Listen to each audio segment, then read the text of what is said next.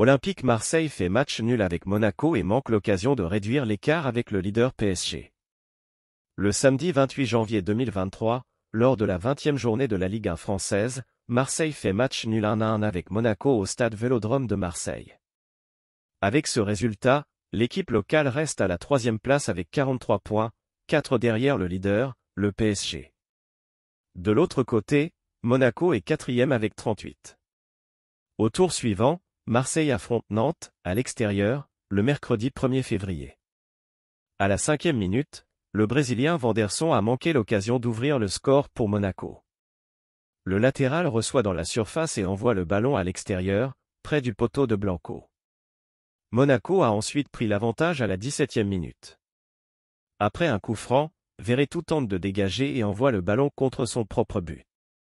Marseille a égalisé deux minutes après le début de la seconde période. Le Chilien Alexis Sanchez a profité d'un ballon dans la surface et l'a envoyé dans le but. Dans les derniers instants, Payet a eu l'occasion de renverser la situation, touchant presque la barre transversale de Monaco.